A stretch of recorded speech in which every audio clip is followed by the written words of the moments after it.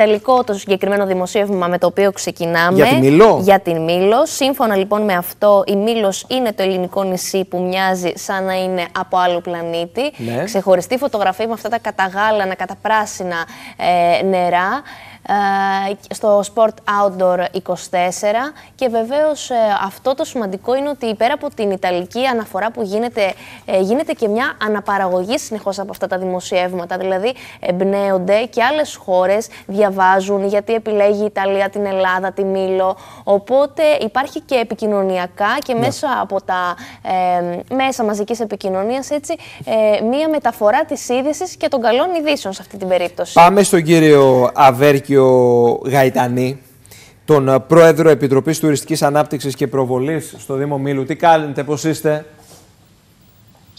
Καλησπέρα σας, πολύ καλά. Σας ευχαριστούμε πάρα πολύ. Πού ακριβώς βρίσκεστε; Για βάλτε μας λίγο στο κλίμα εκεί της, ε, του τόπου σας.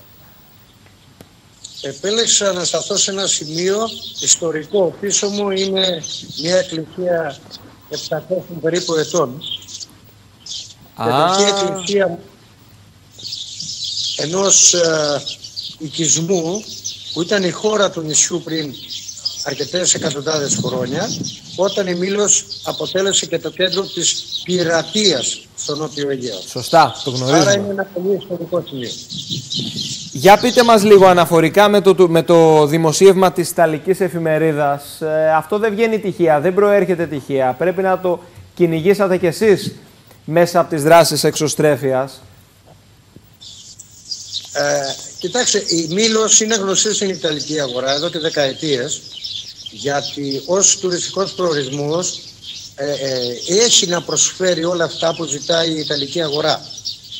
Η τελευταία αυτή αφορμή που δώ- δόθηκε ήταν μια ε, πρωτοβουλία ιδιωτική κάποιου σεφ που έχουμε στο νησί ε, ο οποίος όχι μία φορά αλλά δύο φορές το τελευταίο δίμηνο βρέθηκε στην Ιταλία και ε, συμμετείχε σε γαστρονομικές ε, επιδείξεις εκεί Ναι. αφορμή ε, για να ακούσει μια φορά η Μήλο.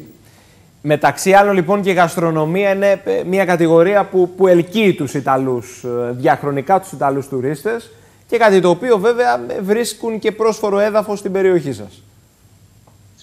Σίγουρα η Μήλος διακρίνεται πάρα πολύ για τις φυσικές της ομορφιές λόγω της γεωλογικής κληρονομιάς που έχει ο τόπος σαν ηφαιστειακός τόπος φεστιακής προέλευσης. Ναι, ναι, σωστά. Άρα οι, ομορφιές- οι φυσικές ομορφιές και οι παραλίες μας είναι ε, πολύ ενδιαφέρουσες και γι' αυτό δεχόμαστε και τόσο πολύ ε, ποσοστό ανθρώπων που αρέσκονται σε κάτι τέτοιο.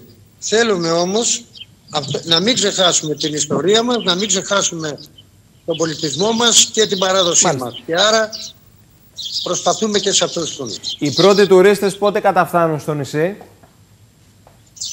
Ακόμα και τώρα σποραδικά έχουμε κάποιους επισκέπτες, αλλά σίγουρα θεωρώ ότι το Πάσχα θα αποτελέσει την αφετηρία, το Πάσχα των Καθολικών θα αποτελέσει την αφετηρία για μεγαλύτερη προσέλευση. Μάλιστα. Άρα ήδη φτάσαμε σε λίγες μέρες σε αυτό το χρονικό σημείο. Μάλιστα. Κύριε Γαϊτανή, σας ευχαριστώ θερμά. Χαιρετισμούς από Κρήτη. Να είστε καλά, χαιρετούμε τη Λεβεντομάνα Κρήτη, κομμάτι της οποίας είμαστε και εμείς στη Μήλο. Σας ευχαριστώ. Τουλάχιστον ένα τμήμα του νησιού. Σας ευχαριστούμε θερμά.